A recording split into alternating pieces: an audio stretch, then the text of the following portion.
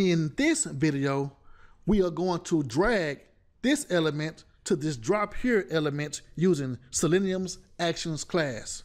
Inspect both elements, right click the first web element, and we see draggable as the value for ID. Right click the second element, and the value for ID is droppable. Let's go to Eclipse. We have our setup and the teardown methods. The test method is drag and drop target. Start by loading the application driver.get URL. There are two web elements. First is web element source equal driver dot find element by ID. The value for ID is draggable. Next is the target. Web element target equal driver dot find elements by ID. The value for ID is droppable. Import web elements. Did you notice that both web elements were located inside an iframe? Close the DOM and right click again.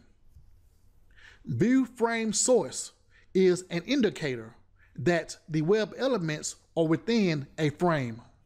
Recall from the switch to frame videos 29 through 32, we must switch to the frame before performing a command on the web element.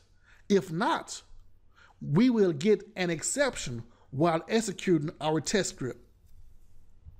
Let's write two forward slashes, I frame.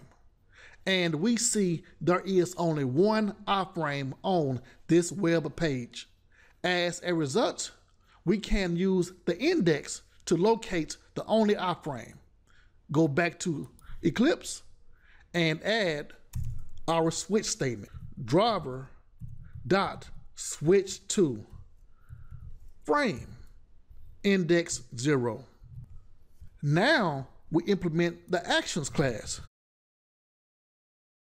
with act as the object reference. New actions. Driver in the parentheses. Import the actions class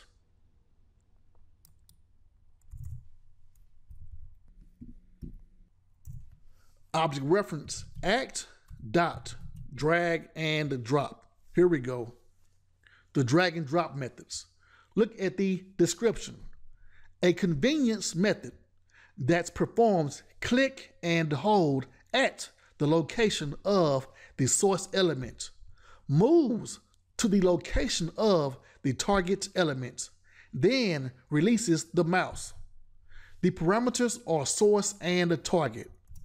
Next, we perform the action by writing perform. Let's run.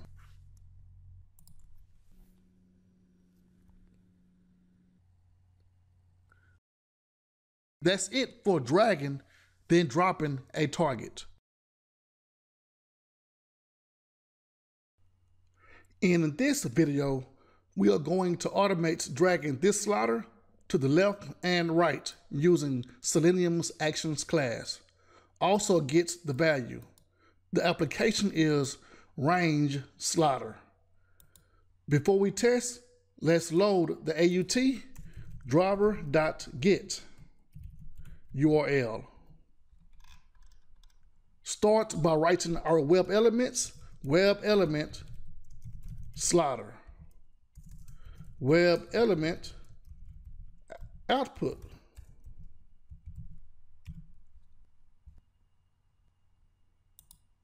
Now let's find the element. Inspect the slider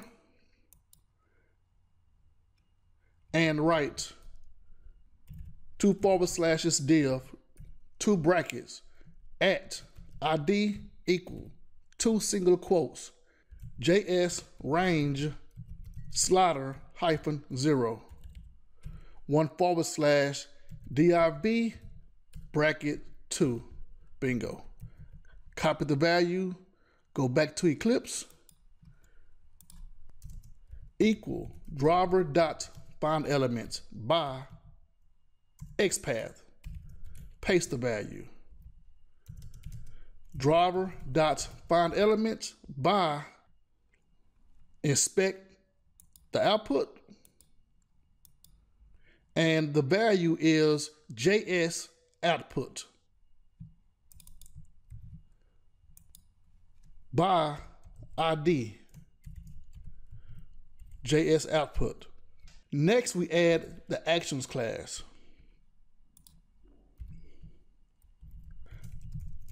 With object reference act equal new actions class driver. Act, our method is drag and drop by. Let's look at the syntax. In the previous session, we used drag and drop to move the source to the target. In this session, we're going to move the source using the X offset. The description states a convenience method that performs click and hold at the location of the source element, moves by given offset, then releases the mouse. From the parameters section, we see X and Y are the offsets. X moves horizontally, which is left and right, while Y moves vertically up and down. The source is slider. And let's move the slider left by making X negative 100. while offset is zero. Finally, we perform the action by selecting perform. Let's print the output so we can see the value in the console. Sys out what is the output after dragging left. Output dot get text. Let's run.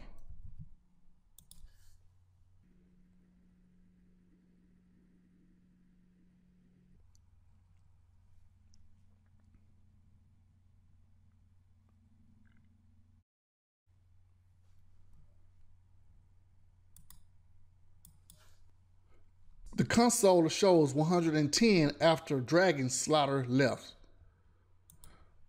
I'm going to copy and paste the code for moving the slider left. Our method will drag the slider right. So I'm going to change left to right for the method name and the print statement. Then change negative 100 to positive 100. Let's run.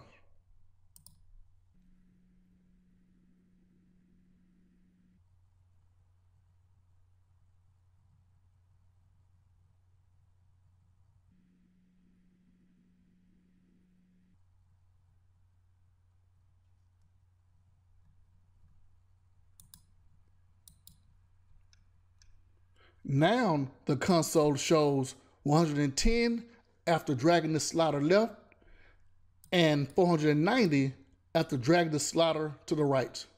Next, we will automate dragging a slider up and down.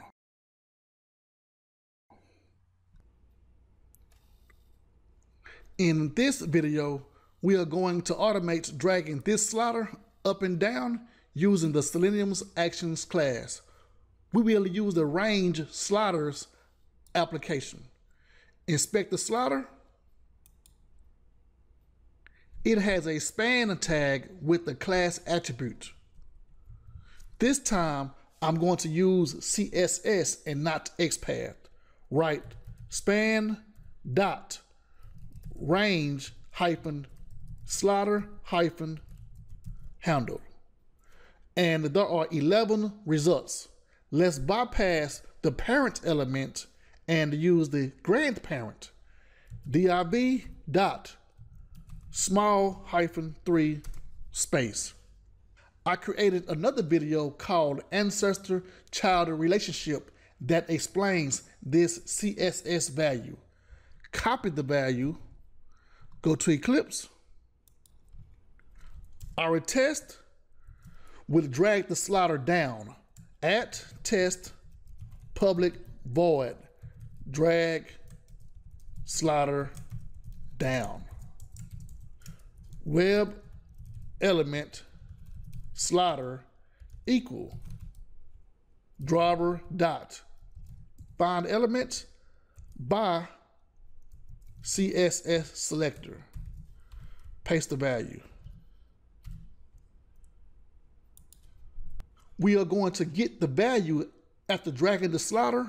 So let's inspect 50. The value for ID is slider output 2.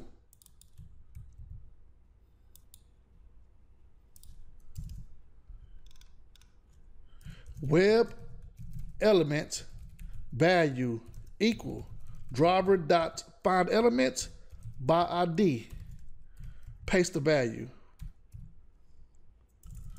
Actions, act, equal, new actions. Driver. Act, dot, drag and drop by. moves the source, which is the slider, using the X offset or the Y offset. We are going to use the Y offset Slider is the source. X offset, zero. Y offset, 34. Dot perform. Let's also print the value. Sys out. What is the value after dragging the slider down. Value dot get text. Load the AUT. Driver dot get. Now let's run.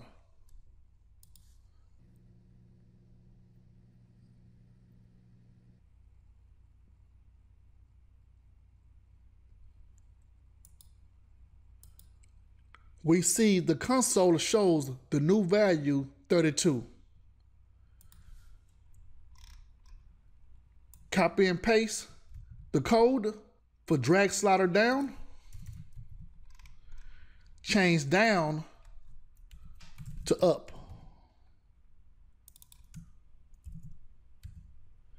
And make 34 negative. Run again.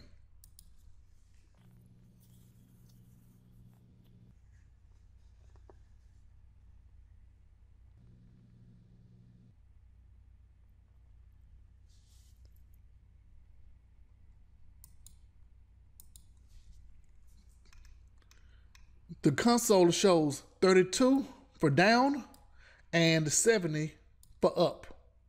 That's it, and thank you for watching how to drag a slider vertically.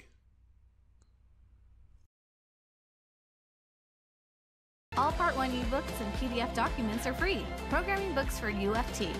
Programming books for Java. Here's the Selenium Automation book. And TestNG. Subscribe to get notification of future videos.